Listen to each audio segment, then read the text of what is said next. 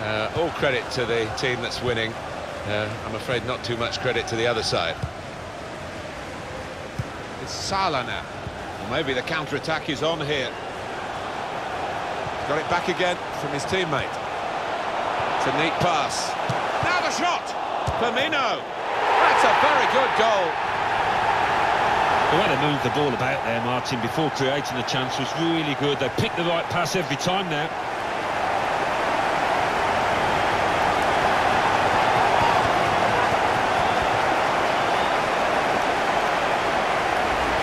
did. That